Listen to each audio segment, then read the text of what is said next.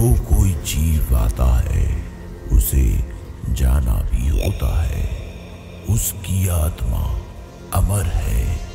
निश्चित समय व दायित्व की समाप्ति पर आत्मा इस शरीर को छोड़ देती है।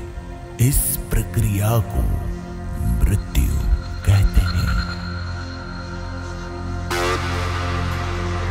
शम्भो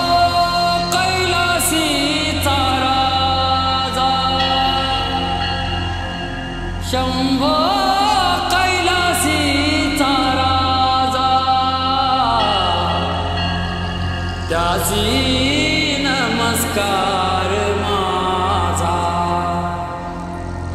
त्याची नमस्कार माझा. त्यासी नमस्कार माझा. शंभो कैलासी राजा